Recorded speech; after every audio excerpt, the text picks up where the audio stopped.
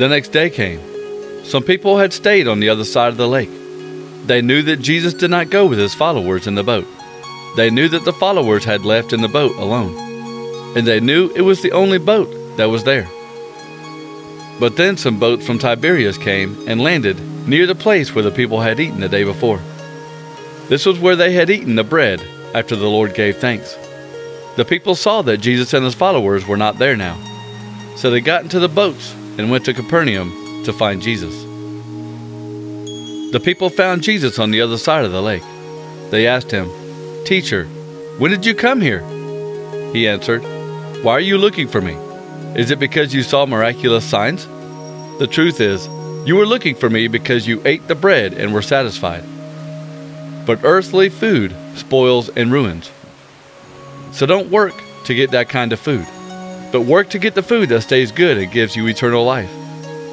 The Son of Man will give you that food. He is the only one qualified by God the Father to give it to you. The people asked Jesus, What does God want us to do? Jesus answered, The work God wants you to do is this to believe in the one he sent. So the people asked, What miraculous sign will you do for us? If we can see you do a miracle, then we will believe you. What will you do? Our ancestors were given manna to eat in the desert. As the scriptures say, He gave them bread from heaven to eat. Jesus said, I can assure you that Moses was not the only one who gave your people bread from heaven, but my Father gives you the true bread from heaven. God's bread is the one who comes down from heaven and gives life to the world. The people said, Sir, from now on give us bread like that. Then Jesus said, I am the bread that gives life. No one who comes to me will ever be hungry. No one who believes in me will ever be thirsty. I told you before that you have seen me and still you don't believe. The Father gives me my people. Every one of them will come to me. I will always accept them. I came down from heaven to do what God wants, not what I want. I must not lose anyone God has given me, but I must raise them up on the last day. This is what the one who sent me wants me to do. Everyone who sees the Son and believes in him has eternal life. I will raise them up on the last day. This is what my father wants. Some Jews began to complain about Jesus because he said, I am the bread that comes down from heaven. They said, This is Jesus. We know his father and mother. He is only Joseph's son. How can he say, I came down from heaven? But Jesus said, Stop complaining to each other. The Father is the one who sent me, and he is the one who brings people to me. I will raise them up on the last day. Anyone the Father does not bring to me cannot come to me. It is written in the prophets God will teach them all. People listen to the Father and learn from him. They are the ones who come to me. I don't mean that there is anyone who has seen the Father. The only one who has ever seen the Father is the one who came from God. He has seen the Father. I can assure you that anyone who believes has eternal life. I am the bread that gives life. Your ancestors ate the manna God gave them in the desert, but it didn't keep them from dying. Here is the bread that comes down from heaven. Whoever eats this bread will never die. I am the living bread that came down from heaven. Whoever eats this bread will live forever. This bread is my body. I will give my body so that the people in the world can have life. Then the Jews began to argue among themselves. They said, How can this man give us his body to eat? Jesus said, Believe me when I say that you must eat the body of the Son of Man, and you must drink his blood. If you don't do this, you have no real life. Those who eat my body and drink my blood have eternal life. I will raise them up on the last day.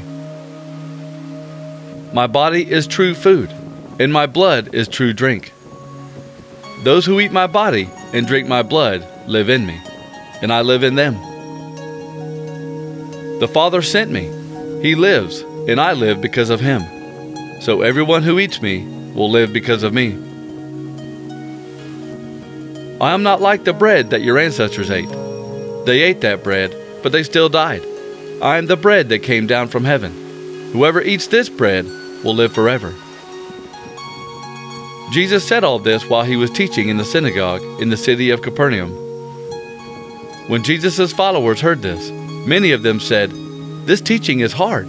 Who can accept it? Jesus already knew that his followers were complaining about this. So he said, Is this teaching a problem for you? Then what will you think when you see the Son of Man going up to where he came from? It is the Spirit that gives life.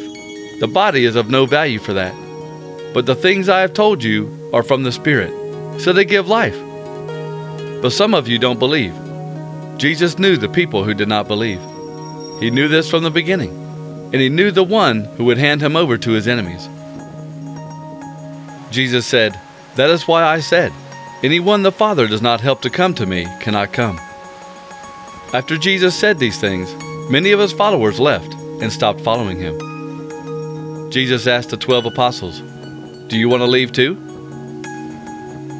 Simon Peter answered him, Lord, where would we go? You have the words that give eternal life. We believe in you. We know that you are the Holy One from God. Then Jesus answered, I chose all twelve of you, but one of you is a devil. He was talking about Judas, the son of Simon Iscariot. Judas was one of the twelve apostles, but later he would hand Jesus over to his enemies. Some Pharisees and some teachers of the law came from Jerusalem and gathered around Jesus. They saw that some of his followers ate food with hands that were not clean, meaning that they did not wash their hands in a special way. The Pharisees and all the other Jews never eat before washing their hands in the special way. They do this to follow the traditions they have from their great leaders who lived long ago. And when these Jews buy something in the market, they never eat it until they wash it in a special way. They also follow other rules from their people who lived before them. They follow rules like the washing of cups, pitchers, and pots. The Pharisees and teachers of the law said to Jesus, Your followers don't follow the traditions we have from our great leaders who lived long ago. They eat their food with hands that are not clean. Why do they do this? Jesus answered, You are all hypocrites. Isaiah was right when he wrote these words from God about you. These people honor me with their words, but I'm not really important to them. Their worship of me is worthless. The things they teach are only human rules. You have stopped following God's commands, preferring instead the man made rules you got from others. Then he said, You show great skill in avoiding the commands of God so that you can follow your own teachings. Moses said, You must respect your father and mother. He also said, Whoever says anything bad to their father or mother must be killed. But you teach that people can say to their father and mother, I have something I could use to help you, but I will not use it for you. I will give it to God. You are telling people that they do not have to do anything for their father or mother. So you are teaching that it is not important to do what God said. You think it is more important to follow those traditions you have, which you pass on to others. And you do many things like that. Jesus called the people to him again. He said, Everyone should listen to me and understand what I am saying. There is nothing people can put in their mouth that will make them wrong. People are made wrong by what comes from inside them. You people who hear me, listen! Then Jesus left the people and went into the house. The followers asked Jesus about what he had told the people. He said, Do you still have trouble understanding? Surely you know that nothing that enters the mouth from the outside can make people unacceptable to God.